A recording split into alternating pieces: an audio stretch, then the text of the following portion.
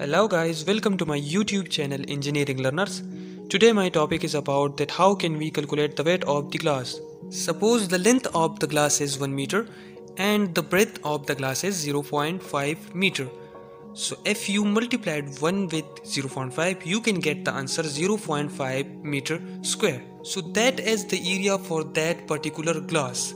Now if we see the chart so there is clearly shown that for 4 mm glass that will be 10 kg per meter square. For 6 mm there should be 15 kg and for meter square for 12 for 10 mm there should be 25 kg and for meter square for 12 mm there should be 30 kg and for meter square.